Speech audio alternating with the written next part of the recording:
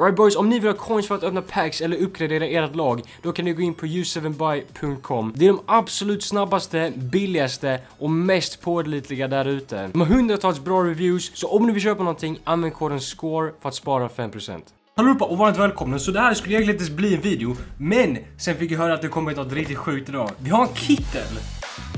Nej jag skojar bara, det är inte han. Tydligen har vi fått någonting SPCs och det har med uppgraderingar att göra. Vi har dem. Förtjänat uppgradering. För det första, de här har varit ute i varenda år, i typ tre år i rad nu. Vi har dessa 86 plus, en av tre stycken 86 plus röda playpicks.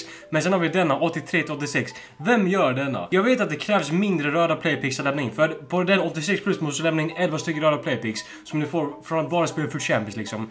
Du måste lämna in 5 stycken här. Och det är liksom en gräns på 86. Det är så dåligt värde egentligen. Jag vill se hur många röda spelare jag har. För förmodligen kommer jag göra en.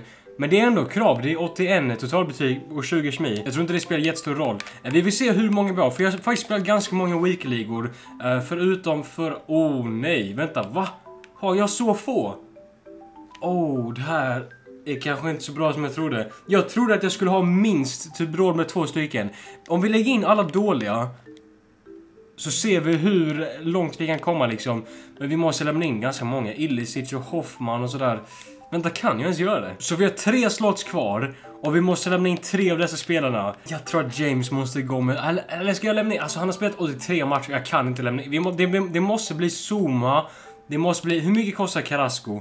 Jag måste, jag, vi har precis råd med en sån här. Klarna skulle kosta 21k. Jag menar jag har inte testat, jag har inte ens kört någonting med honom. Det känns lite dyrt. Och tydligen ska dessa inte ens vara så bra. Jag har hört ganska dåliga saker om dem. Vi kommer förmodligen få tre stycken 86 rated röda spelare. Jag vet inte varför jag gör denna. Det, det är dock bra, det är väldigt bra content faktiskt. Men innan vi hoppar in i den vill jag se om det kommit någonting annat. För det är fortfarande Black Friday promon ute.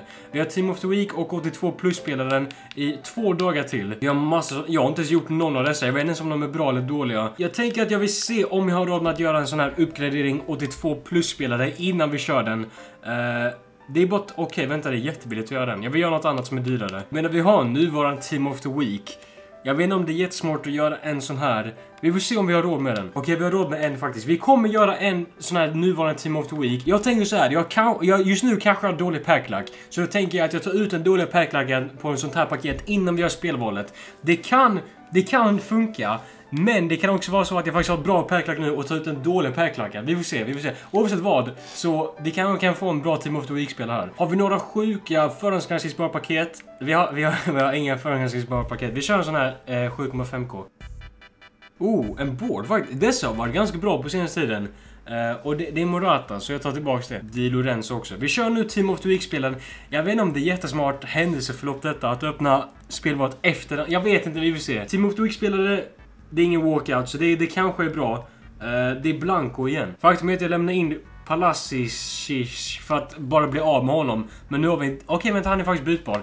Uh, eh, vi kan typ diskada honom med någonting. Vi får se. Nu gör vi spelvalet. Okej, okay, det, här, det här kan vara det dummaste jag gjort hittills. Vi vill se om vi har några matcher. Jag har faktiskt spelat ganska mycket med Carrasco. Jag visste inte ens det. Nio matcher med honom. Savanier har 34. Hur mycket Fifa spelar jag ens? Jag vet, jag känner inte igen någon av dessa spelarna. Vi vill se nu. Jag vill göra en vid på detta paketet. Foot Champions Premium uppgradering. Jag har sett väldigt många få typ tre stycken 86 plus spelare i detta. Och min packlack är inte bra. Vi kommer göra en reveal på det. Okej, okay, vi gör så här. Det här blir jättekonstigt. Vi, vi kommer göra så här. Det är jättekonstigt att inte göra detta i en stream. Och förresten, jag streamar ibland på YouTube. Uh, jag vet fortfarande inte om jag kommer gå över till Twitch. Jättemånga vill att jag gör det. Jag får se. Uh, vi kommer öppna detta nu. Och sen kommer vi gå in på varenda spelare. Och sen ska vi se via deras stats vem det är. Så vi kommer inte se direkt vem det är och om det är bra eller inte för jag vill dra ut på det lite. Snälla, snälla. Jag kommer dock inte bli jättearg om vi faktiskt får något dåligt. Jag har öppnat den nu. Åh, oh, det här kan bli dåligt. Det här kan bli väldigt dåligt. Vi kommer gå in på första spelaren och sen ska vi gå in på statsen. Okej, okay, vi kör direkt. Eh, 80 fysik och 87 försvar och 74 dribblingar. Mm, jag tror att det är mittfält. Jag tror att det är en CDM av något slag. För det kan inte vara en ytterback om det inte är bra passning, vilket det typ är. Så det är, jag tror att det är en ytterback. 55 skott. Är det mycket pace? Det här kortet suger. Vänta, va?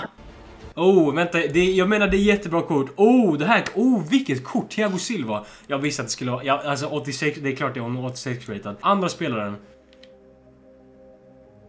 Okej, okay, 84 fysik, 79 försvar, 83 dribblingar. Så det kan faktiskt vara bra. Passningar, passningar. Det är viktigt, det är 79. Om det är bra skott också. 74. Snälla vad mycket pace. 95 pace. Vänta. Har Davies en team of... Jag vet inte, jag vet inte. Vem kan det... Det måste vara en 86 plus. Vem? Det måste vara en ytterback, eller hur?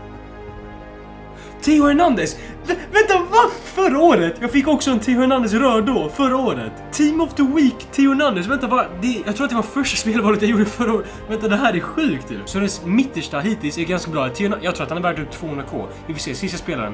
Snälla var inte en försvarare igen. Det är en försvarare igen. ja, det här... Oh, snälla var mycket pace. 64. Åh, oh, vem är det? Det kommer vara någon jätte... Felipe Andersen? Nej. Filippe Luis? Nej, men det är nästan... Det är, det är faktiskt en perfect link. Men jag menar, valet är uppenbart. Dock, jag tror att det är jättebra. Jag menar de flesta får 86 rate. Jag får också tre stycken 86 ratade. Men jag tror att det här är bland de dyraste du kan få. Som är 86. Vi väljer honom såklart. Vi får se om det var värt att ta ut min packlack på Team of the Week-paket och 7,5k pack. Det var inte meningen att gå in här. Jag gissar att han är värd typ 200k. Jag tror, jag, jag tror att det är ganska rimligt. Vi får se. Team of the Week. Det där är så bra. Det där är faktiskt... Jag menar 200k, det där är så bra. Är han bättre än Mendy? Förmodligen är han det. På riktigt, förmodligen är han det. Okej, okay, men kom han in i laget, det är det svåraste. För nu när jag gjort Benzema, eh, jag menar det här ändras jättemycket nu. Och just det, Bernardo Silva har blivit uppgraderad. Alla, alla Road to the Knockout Stages har blivit uppgraderade förutom typ Sané. För jag tror att Bayern är inte ens klar med gruppspelet än. Men kolla, jag, jag har två stycken i Eh, jag har en Vidal också. Bernardo Silva är 89 vet jag nu. Det här kortet bör, det börjar bli ganska bra. Jag kommer fortfarande inte spela med honom. Danjuma, jag tror inte att Villarreal är klara än. Jag tror att de måste spela lika eller vinna för att komma eh, vidare, vilket är lite jobbigt. Men Vidal också. Det jobbigaste är, jag har inte pratat om detta i en video, men ni kommer ihåg när jag packade en massa Gravenberg, typ tre stycken eller fyra stycken sammanlagt. Jag lämnade in alla SPCs, för det var fan massa SPCs på den tiden. Eller, det låter som att det var typ 1900-talet. Men just då krävde alla SPCs en Road to the Knockout Stage-spelare. Så jag bara lämnade in Gravenberg och till, till, till, sist så hade jag inte ens några kvar. Och alla förresten, alla var bytbara. Anledningen till att jag lämnade in dem var för att han gick för typ 20k. Just nu går han för typ 80k. Och jag menar Ajax kommer nog bara fortsätta gå vidare för de spelar riktigt bra just nu. Så jag, jag missar typ över 200k. Uh, eh, vilket är, det, det svider lite om jag ska vara ärlig. Det är lite sådär. Hur i hela friden ska vi få in Hernandez i detta laget. Ja men om vi tänker så här, var det värt det att lämna in 11 stycken röda playpicks spelare som jag liksom aldrig kommer testa? Förmodligen var det det. Men Benzema måste komma in. Vi måste testa Benzema och Hernandez. Frågan är om det är dags för Mendy att sticka nu. Det kan vara så. Men hur ska vi få in Hernandez?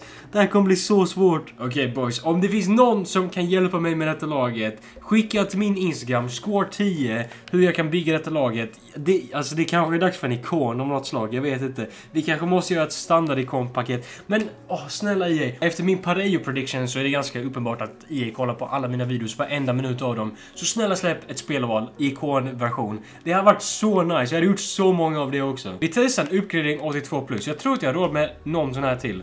Eh, men min klubb är ganska tom just nu om jag ska vara ärlig. Okej, okay, vi kör en och jag lämnar in liksom 82-ratade spelare. Så min klubb är jättetom nu. Vi måste göra en till pack-opening. Och jag tror att, jag tror att så group stage-kort kommer komma på fredag. Alltså en ny, en ny promo liksom. Det måste bara vara bra spelare, det, det är det som är det viktiga. Men sällsynt spelar 82 plus. Ja. Uh, De verkar bra. Men jag menar mitt spelval, jag tror att det där var så värt det. Det är ganska sjukt att jag får samma spelare varenda år. Alltså i samma paket och allting. Men skicka in till min Instagram om ni vet hur jag kan bygga mitt lag. Och om ni vill att jag ska öppna era sådana här spelarval. Kanske har vissa inte ens råd med det än. Eh, utan kanske behöver spela till Wikiliga innan, innan de kan få råd med det. Martinez. Ja, det är alltid Cardi. Men med det sagt så var detta allting för dagens video. Vi kommer ses imorgon för det är såklart daily uploads. Prenumerera för det. Vi är jättenära 35 000 prenumeranter. Om ni inte prenumererar kommer Majer knacka på er dörr. Uh, jag menar, det kanske är en bra grej egentligen. Så uh, vi ses i morgondagens video. Ta hand om allihopa och hejdå.